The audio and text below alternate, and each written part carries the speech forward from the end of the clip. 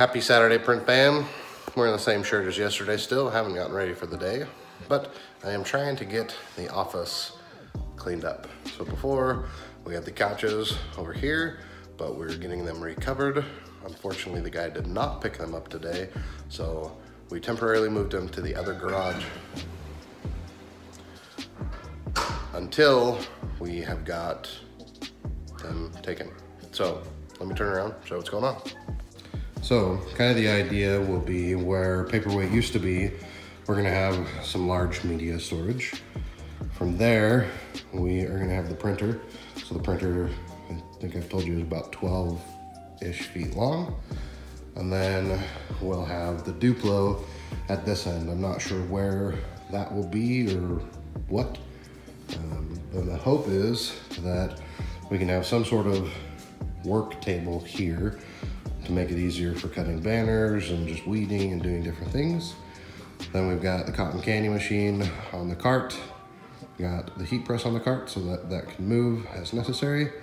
We've got paperweight here so that when we need to use it, pull a card out, access paperweight, and then we've got all of the paper supplies, which it sucks that I have thousands of dollars of paper and no printer to print them with. So kind of just a rundown of the paper that I have right now. Plain 12 by 13, some 8.5 by 11 right there. And then some 80 pound smooth 11 by 17. Some legal paper, so 8.5 by 14. Some nice glossy text, that's a 100 pound. Envelopes, number 10, regular, no window.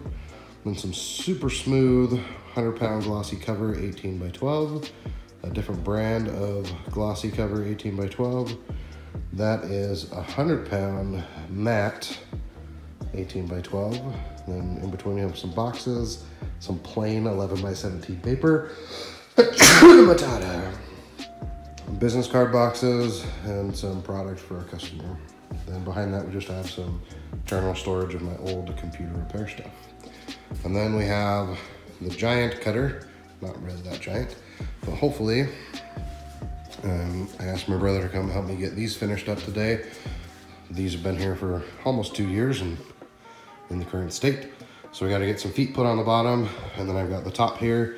So we'll set that on the top. We'll get the cutter up there. I've also got a, a ring binder that I will probably set out here as well so that we can do books. So that is actually in this storage cabinet, which also has some paper, and a few other supplies. So it's looking really good. I'm super excited. Still a lot to do, but it will be much better. Print fam, I'm doing an experiment. So I'm running top on a hoodie. So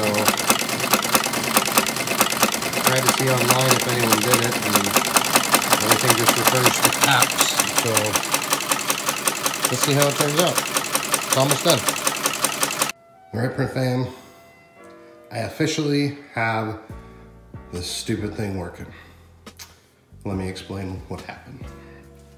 So, this button housing, the button was pushed in because when they had put the wire strapping on it, they had tightened it so tight that the edging had bent, or the edge, so the button was forced in. So the button could not fully come out. So after trial and error and whatnot, we ended up taking off the housing. So this thing is just not screwed in right now, but it still works. So I'm able to use the cutter.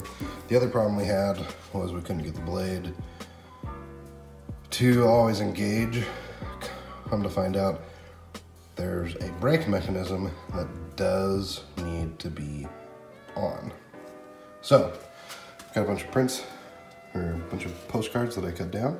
Let's show you how it works. So, first thing you do is turn it on. You get the nice laser line showing where it's gonna cut. You have a digital readout. So to get it to do the readout, you gotta bring it all the way to the front. So the minimum cut you can do, at least from the back edge to the front, is about two inches. So we can set it at exactly two. we can put our paper in. We can stack it all nice, push it in, nice and flat. Once we have it there, we twist the knob, which makes the pinch thingy go down. So that's nice and tight. So that is not gonna move. Next thing we have to do is put down the protective shield. And this actually engages a magnetic button. And then, I can't show you because I gotta use my hand to hold the camera.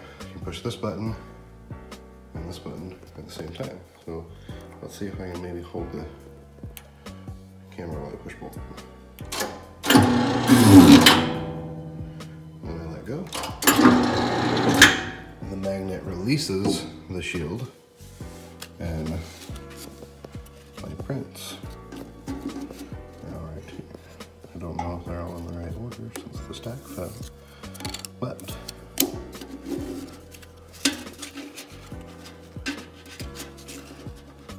now I have these perfectly cut. They might actually be two inch squares. Then you release the paper. You can release it as high as you want. And then pull it out. So, it's working. The only thing I have noticed, at least it's starting to go in now that I've done quite a bit of cutting, there was some like debris being on the edge of the cut.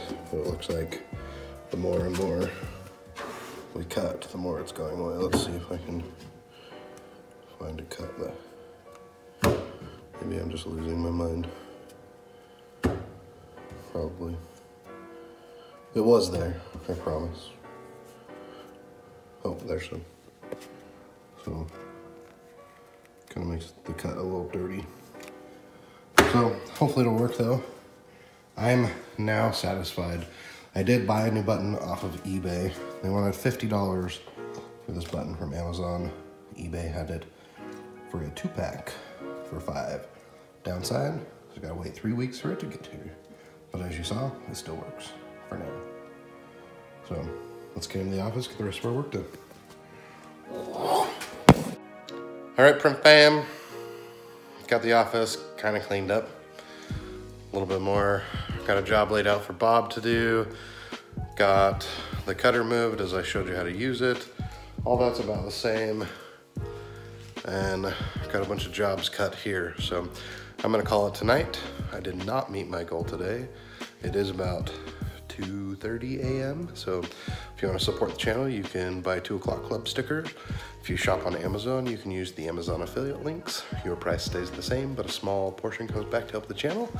You can also hit a thumbs up, subscribe, share with friends.